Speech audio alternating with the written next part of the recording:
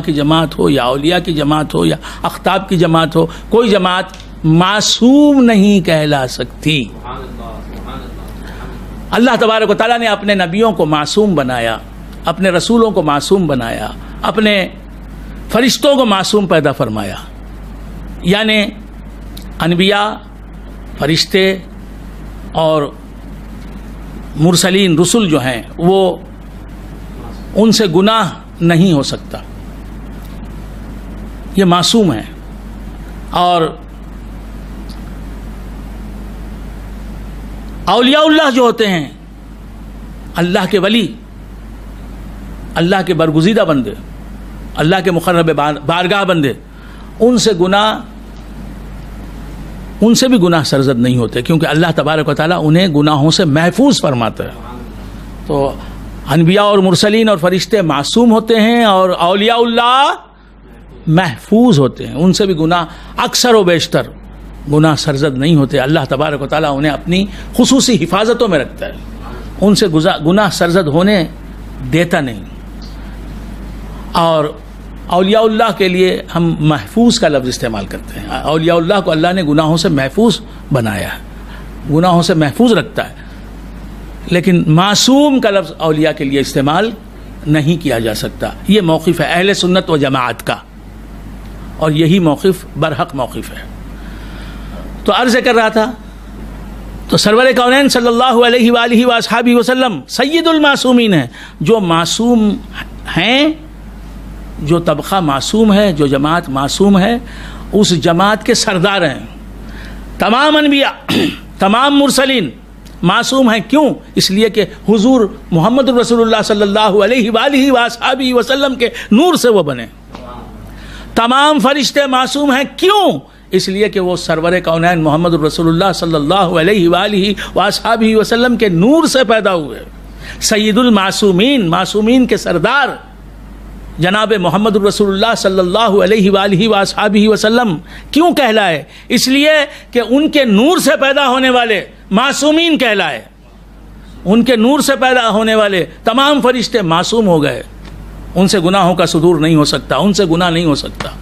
उनके नूर से पैदा होने वाले तमाम अनबिया और तमाम मुरसलीन मासूम हो गए, गुनाहों का उनसे सुदूर नहीं हो सकता।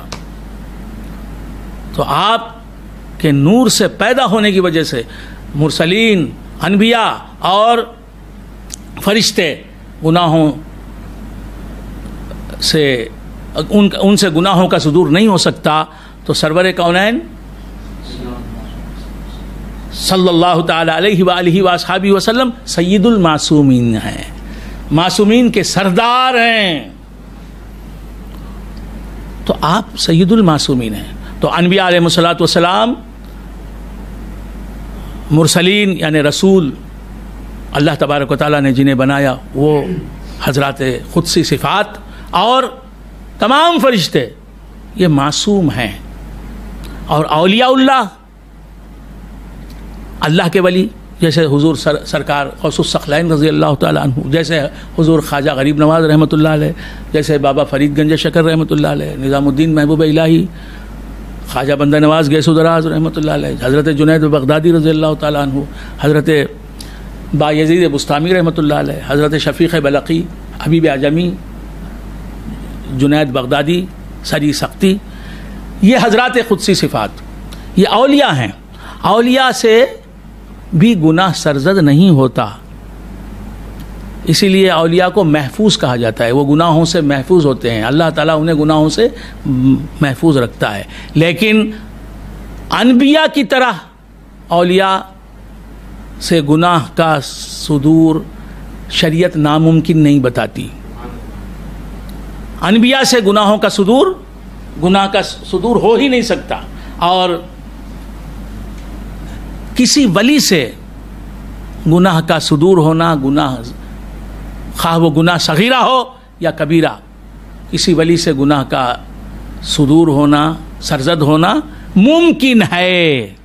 वली से गुनाह हो सकता है, लेकिन अक्सर व बेशतर अल्लाह तबारक ताली सईदुल मासूमीन के सदक़े और तुफ़ैल में अपने वली को भी अक्सर व बेशतर गुनाहों से महफूज फरमाता है। वली भी अक्सर व बेशतर गुनाहों से महफूज रखते हैं। अक्सर औलिया सारी ज़िंदगी गुजार देते हैं और उनसे गुनाह का सुदूर नहीं होता। लेकिन अगर किसी वली से गुनाह सादिर हो जाए तो शरीयत उसे नामुमकिन भी नहीं कहती। बात समझ में आई? बल्कि औलिया से गुनाह का सुदूर हुआ है। तमाम औलिया में सहाब किराम रिजवान तजमाइन का दर्जा बुलंद है। हर वली सहाबी नहीं होता। हर वली सहाबी नहीं होता, लेकिन हर सहाबी का वली होना ज़रूरी है। और आप, हजरात को मालूम है कि सहाब किराम से भी गुनाह हुए हैं। बाद सहाबा से गुनाहों का सरजद होना ये तारीखी हकीकत है।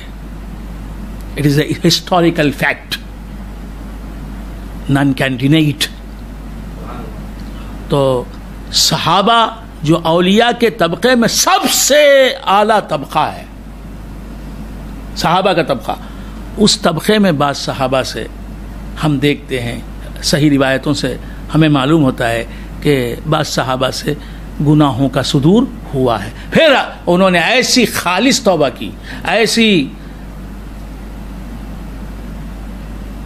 कामिल तौबा की कि उनका मकाम तौबा करने से पहले जो था, उससे भी आगे हो गया। गुनाह करने से पहले जो जिस मकाम पर वो फाइज थे, जिस बुलंदी पर वो फाइज थे, अल्लाह की विलायत, अल्लाह के खुद की जिस बुलंदी पर फाइज थे, उससे भी ज़्यादा बुलंद मकाम उनको तौबा के बाद उन्हें अता फरमा दिया गया। अल्लाह की बारगाह से। तो मालूम यह हुआ कि वली से गुनाह, सरजद हो सकता है। गुनाह सगीरा भी सरजद हो सकता है, गुनाह कबीरा भी सरजद होता है। लेकिन अल्लाह तबारक ताली जिसे दर्जा विलायत पर क़ायम रखना चाहता है, उससे गुनाह के होने के बाद अल्लाह तबारक ताली तौबा की ऐसी तोफ़ी देता है कि वो ऐसी खालिश, ऐसी कामिल, ऐसी अल्लाह की पसंदीदा तौबा करता है कि उसे अल्लाह तबारक ताली गुनाह करने से पहले वो जिस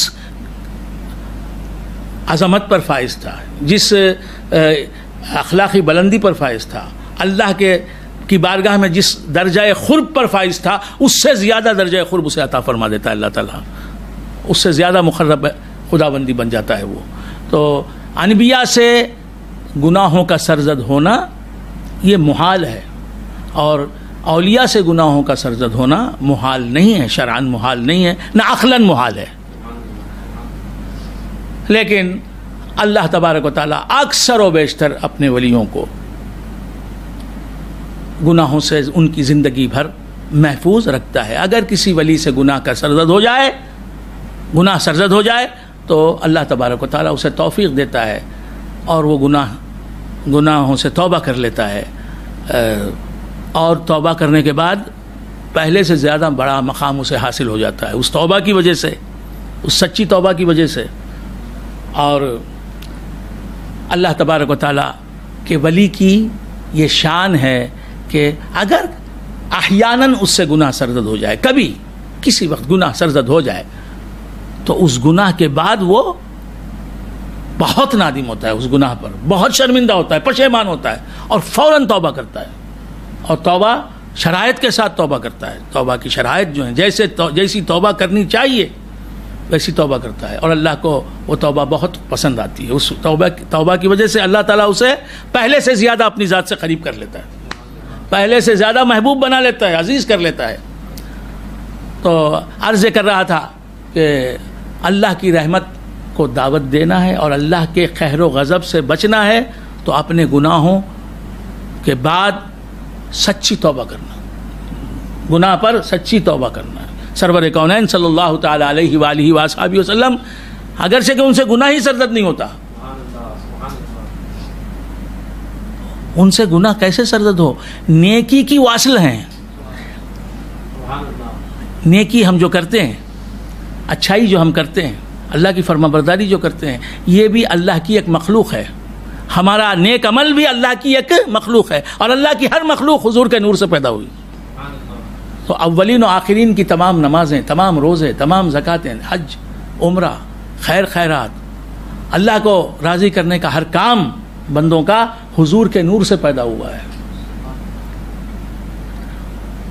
नेकी हुजूर के नूर से पैदा हुई। जिस, जो हर नेकी, हर खुल्क हसन, हर अमल साले